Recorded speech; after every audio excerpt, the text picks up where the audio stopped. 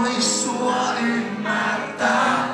Voisin edes voinut yrittää, vaikka joskus tuntuu, että kaikki on turhaa.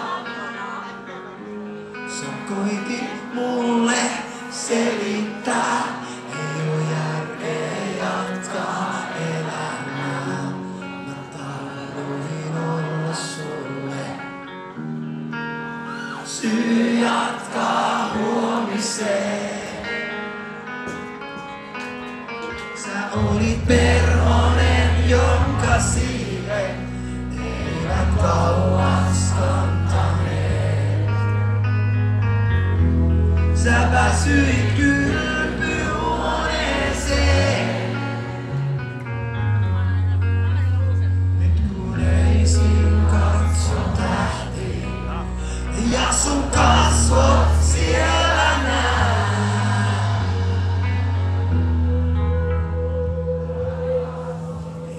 I'm sorry.